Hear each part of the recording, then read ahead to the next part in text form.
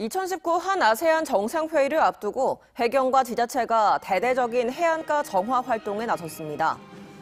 해경은 어제 오후 2시쯤 서구 암남동 송도해수욕장에서 지자체 공무원과 자원봉사자 등 천여 명과 해안가와 바다에 버려진 쓰레기를 줍는 등 바닷가와 항구 7곳에서 정화 활동을 펼쳤습니다.